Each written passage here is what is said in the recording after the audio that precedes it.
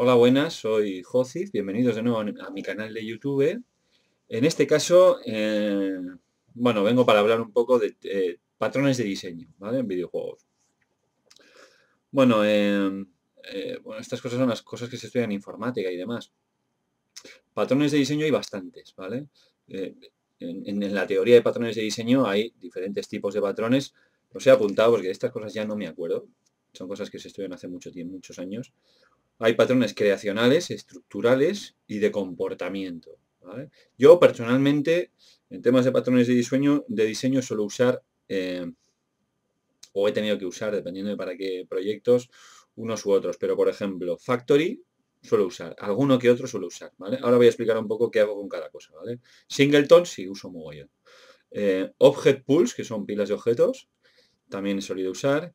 Y MVC, que es un patrón de diseño con unas clases, eh, bueno, en el caso de MVC son Model View Controller, Es una manera de extraer de alguna manera eh, em, cuando vas a programar algún tipo de objeto para separarlo en, el model en sí, el controller con las funciones que va a tener ese model y la parte visual, el view, Y eh, es una manera de organizar el código.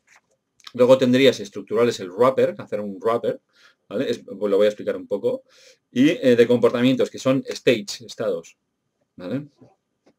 A lo mejor este vídeo es muy largo y hago dos, para, porque me puedo extender bastante en el tema. No es un tutorial esto, ¿eh? es un poco hablar las cosas que suelo usar yo, que es una cosa que algún usuario ha preguntado y bueno, también puede ser interesante, así que sin más. Y sin más lo he apuntado un poco para no dejarme absolutamente ninguno, ¿vale? Eh, bueno, factories. Factory se usa para eh, crear cosas eh, directamente en un nivel sin que lo tengas que poner a mano, Por decirlo así. Hay varios factories, varias, Abstract Factory, hay unas cuantas cosas, pero bueno, yo le llamo Factory sin más, ¿vale? Cuando quiero hacer algo que quiero que crea a su vez objetos, por ejemplo, tú tienes un modelo en 3D, una, escena en 3D, un campo, lo que sea, y quieres ir poniendo piedras por ahí, en algún sitio determinado, por ejemplo, a un lado de una carretera o lo que sea. Puedes ir poniéndolas a mano o puedes crear una clase que mire toda la esquina de esa carretera con un spline o bueno, con cualquier cosa, con unos cuantos puntos, en plan haciendo un waypoint, y vaya poniendo piedras en ese recorrido, por ejemplo, de manera aleatoria.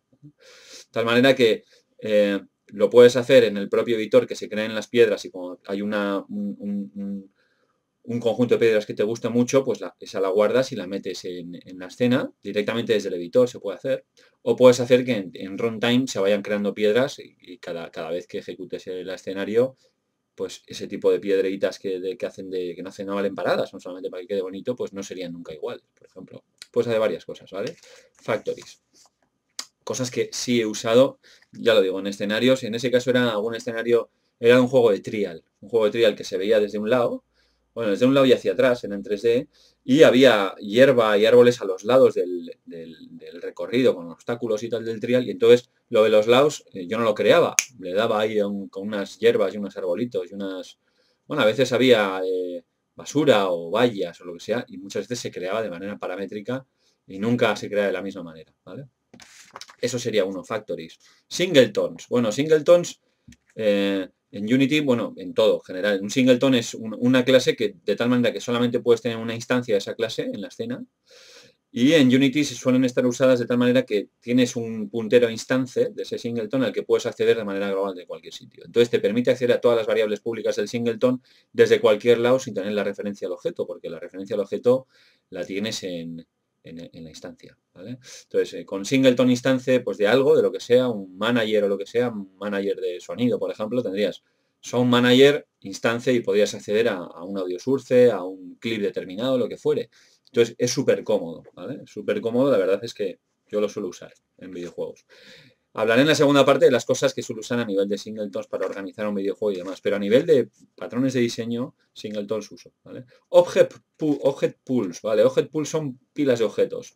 Em, se usan bastante en videojuegos, sobre todo, no siempre, pero eh, si tienes que instanciar y destruir muchas cosas, se suelen usar. Yo lo he usado y la verdad es que es una gozada, ¿vale? ¿Por qué? Porque cuando tú tienes que crear un objeto y destruirlo, eso cuesta, cuesta en tiempo, en, rendimiento. Hace que el rendimiento baje. Si tienes que crear mogollón de cosas a la vez, el rendimiento baja mucho más, por ejemplo, ¿vale? Entonces, y luego al destruir pasa lo mismo. A Unity le cuesta, a Unity y a cualquier engine en general. Entonces, ¿qué se hacen? Imaginemos que tienes un FPS, ¿vale? Y tú empiezas a disparar y las balas se ven. Imaginamos que son bolas de plasma o lo que sea que se ven. Y cuando impactan contra la pared, tienes el efecto de, bueno, no explosión, pero el efecto del impacto. Entonces tienes dos opciones. Una es ir disparando, ir instanciando las balas que salen disparadas hacia adelante y dan contra, contra la pared e instancias, destruyes la bala, instancias el impacto que genera, el puff, el pequeño impacto y tal en la pared, que a su vez se destruye en un segundo cuando se ha hecho el efecto y tal. Entonces, en el ojo de pool lo que haces es metes mogollón de balas, creas mogollón de balas y las desactivas y creas mogollón de efectos de impacto, el mismo, mogollón de veces, y los desactivas. Entonces tienes en esa pila 20 balas, por ejemplo, y 20 impactos, suponiendo que tú no puedes disparar más de 20 veces en el sentido de que no vaya a haber más de 20 balas nunca en pantalla. Entonces, eh, si va a haber más, pues harías un object pool con más, con más balas. Entonces, cuando tú vas a disparar, no creas la bala. Coges una del object pool la pones en la boca del cañón y la activas y la mandas hacia adelante. Entonces la bala va, impacta contra la pared y cuando, cuando ha impactado y destruyes la bala, porque ya acaba de impactar, no la destruyes, la desactivas y el ojo pool sabe que la puede volver a usar en caso de que la tenga que usar. Y eh, tienes que crear el, efecto del impacto, pero claro, tú no lo instancias, no lo creas desde cero. Pillas del ojo pool uno que tienes, lo inicializas o lo que sea y lo pones en el, en el, punto de impacto del muro para que haga el efecto del impacto y cuando se tiene que destruir ese, cuando tiene ese autodestroy de un segundo, de dos, cuando se tiene que autodestruir, no se autodestruye, se desactiva. Y le, deja al le dice al object pool que ya está desactivado. Entonces, ¿qué consigues? Bueno, pues tener una pila con mogollón de objetos, mogollón de diferentes tipos de objetos, mogollón de efectos, de balas diferentes, enemigos, de todo. Y eh, no destruyes absolutamente nada nunca, simplemente se van gestionando qué cosas están activas y qué no, y qué cosas se van desactivando y qué no.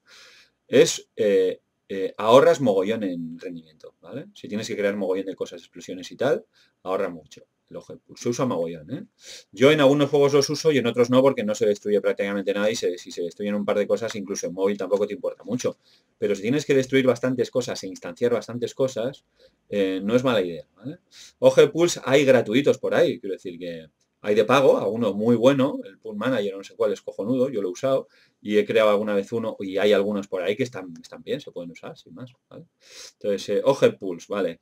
Eh, más, un wrapper, ¿qué es un wrapper? Wrapper se, se, eh, eh, se suelen usar wrappers, por ejemplo, cuando tienes que hacer DLLs. Imaginemos, por ejemplo, en Kinect, por ejemplo, tú tenías la DLL de Kinect y a la vez un wrapper para poderlo usar en Unity. ¿vale? ¿Qué, hace, hace el wrapper?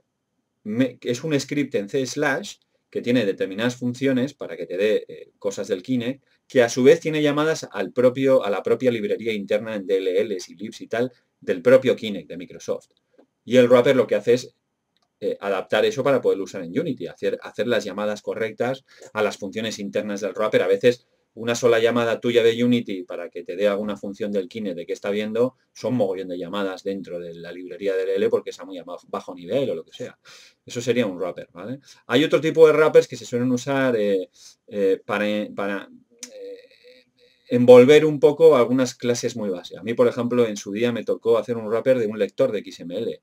Estábamos haciendo un simulador, hará 4 o 5 años, una cosa así, para iPad 1, era el primer iPad que salía, no había ningún otro, y queríamos leer cosas en XML de una escena y demás. Entonces eh, eh, no quería usar net, porque claro, en los móviles y tal no eran muy potentes, no quería que el, ejecutable eh, fuera demasiado grande, entonces me hice, vi una clase básica para leer un XML y me hice un wrapper alrededor de ellos, de tal manera que podía leer una fila concreta de un branch, bueno, de una cápsula concreta, el XML, o su padre, o su hijo, o su hermano, ¿entiendes? Entonces me construí el wrapper alrededor de un, lector sencillo de XML. Ahora con las librerías de net de XML y demás lo tienes todo hecho, pero antes a lo mejor te tienes que buscar un poco más la vida. Entonces, ese tipo de cosas vienen bien. Un wrapper que involucre una serie de llamadas que llaman a unas clases base, eh, de tal manera que eh, lo acondiciones para usarlo en Unity a tus necesidades. Y luego el patrones de diseño como, como MVC en el sentido de que eh, tienes unas clases abstractas a partir de las cuales vas, vas derivando, en el caso de MVC es Model View Controller, pero en otros casos serán otros, lo que dan es organización, organización en el código.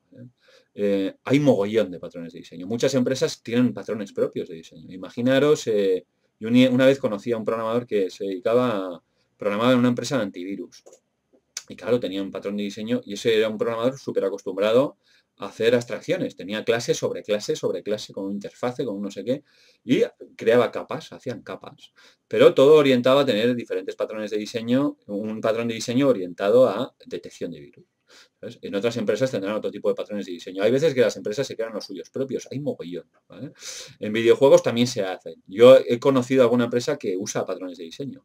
Bien porque hablas con el programador y te dice, no, no, usamos un patrón de diseño, tal, lo que sea. Entonces, eh, eh, bueno, se usan. En Unity hay, hay, un, hay un patrón de diseño, a ver, os lo voy a buscar porque sé que está aquí, lo buscaba antes, se llama Code Control. Implementa el MVC para Unity, para hacer juegos usando ese patrón de diseño, ¿vale? Eh, se llama Code Control, vale 20 euros, por si le queréis echar un vistazo lo queréis comprar, eso ya es cosa vuestra, pero más allá de eso, en la descripción tiene los links a, a qué es el patrón de diseño MVC, cómo se usa, con sus ejemplos y tal, ¿vale? El patrón en general, no tiene nada que ver con videojuegos. El patrón se puede usar para muchas cosas, ¿vale? Entonces, eh, eh, bueno, este tío, el, de Code Control, lo ha adaptado para Unity para hacer videojuegos usando ese patrón, sin más. Una muy buena, no, bastante buena idea, ¿vale? Es decir, además tiene 5 estrellas de 27 tíos. No está mal, no está mal. A lo mejor le echo yo un vistazo, esto me lo compro, para echarle un vistazo, sin más. Eh, y, qué más? Ah, bueno, comportamiento, vale. Eh, los states. States que son eh, máquinas de estado, básicamente. Hice un tutorial en YouTube de máquinas de estado, que creo que era haciendo enemigos. Sí, haciendo enemigos. Eh, que bueno, ese está hecho en JavaScript, claro. y en ese caso no, no, estaba usando lo que era un patrón de state con una clase de estado, que a su vez derivas para crear diferentes estados concretos y un manager para llevar la transición de un estado a otro. En ese caso, en el tutorial tenía un case y tú tenías una numeración de estados, pues parado, corriendo, atacando, lo que fuera, y tienes cada estado con lo que haces en el estado y las condiciones para pasar a otro estado, el que fuera, a idle o a atacar o a correr, para pasar de uno a otro. Tienes una serie de condiciones clave para pasar a uno u a otro y la acción que vas a cometer. Generalmente estas cosas de máquinas de estado hay varias maneras de hacerla, pero la estructura siempre es la misma, por decirlo así. Una vez que ya lo tienes claro cuál es la estructura, se vuelven cosas mm, relativamente fáciles de hacer. A no ser de que lo compliques con mogollón de estados. Si vas a complicar demasiado ya mejor es usar behavior trees y demás. Y además si son visuales, que hay alguna utilidad en Unity que lo hace de manera visual, eh, todavía mejor, porque claro, te da muchísima potencia. La programación visual para algunas cosas, como IA y tal, eh, es la hostia. Entonces, bueno, que lo sepáis. Pero bueno, para hacer enemigos sencillitos y tal, una máquina de estado siempre ha funcionado y ha funcionado muy bien. Así que tampoco os compliquéis demasiado la vida. Y ya está, eso sería en cuanto a patrones de diseño que yo personalmente he tenido que usar alguna vez, quitando MVC, que lo he nombrado, pero yo no lo he usado nunca. Las demás cosas las he usado. Factory, singletons, que ahora voy a hablar de singletons. Eh, pools, pilas de objeto wrappers y stage. Añadiría otro, que sería, no es, un observer, hay un patrón de diseño que se llama observer, que de lo que se trata es que él tiene unos estados concretos suyos propios y está espiando qué estados tiene un objeto en concreto. Y cuando ese objeto cambia de estado, él consecuentemente cambia. Está observando al otro objeto, ¿vale? No sería eso, pero eh, yo una cosa que también he solido usar eh, bueno, patrón de diseño, bueno, sí, bueno, no sé. Eh, eh, son messengers, ¿vale? Es decir, Unity tiene el send mensaje, pero es que eso es muy malo. Porque para mandar un mensaje a un objeto necesitas el puntero al objeto. Y es una, es una desgracia en el sentido de que hay veces que no es tan fácil conseguir ese puntero. Te tienes que buscar un poco la vida. Pero hay alternativas que además son baratas, en el sentido de que primero, que las tenéis en internet, en el wiki de Unity, y segundo, que no penalizas el rendimiento por usar esos mensajes que son que tienen más sentido, ¿vale? Eh, y, de lo que se trata es, tú tienes un manager de mensajes, entonces tú como quieres mandar un mensaje, se lo mandas al, al manager, que es prácticamente un singleton en el sentido que solo hay uno y es general, eh, tienes el punto del manager siempre. Y eh, tú mandas el mensaje y ya está, te olvidas. Y habrá objetos que estarán escuchando a diferentes mensajes y el que se haya apuntado para escuchar el mensaje que, del tipo de mensaje que tú estás mandando, lo recibe el, manager de mensajes se lo va a mandar a ese objeto y ya está. Entonces, ni el que emite el mensaje ni el que lo escucha necesita tener ningún puntero relacionado el uno con el otro, sino con tener el manager de mensajes, que es el que se encarga de recibir los mensajes y mandárselos a quien corresponda como un cartero, es el que se encarga de todo eso, ¿vale? Entonces, de esos tenéis unos cuantos en los managers de Unity y son súper potentes en ese sentido. Por lo menos no es la mierda que es el mensaje de, de Unity. Generalmente esos managers usan lo mismo, una especie de mensaje y ya está. Entonces, eh, lo puedes mandar y otros objetos se van apuntando para hacer de listeners, de escuchadores de esos mensajes. Y ya está, esa sería la primera parte de este vídeo, ¿vale? De patrones de diseño. Y eh, en un momento voy a hablar del otro. Más que nada para que el vídeo no quede demasiado, demasiado largo, lo voy a dividir en dos. Así que nada, hasta el próximo vídeo de mi canal. Hasta luego, adiós.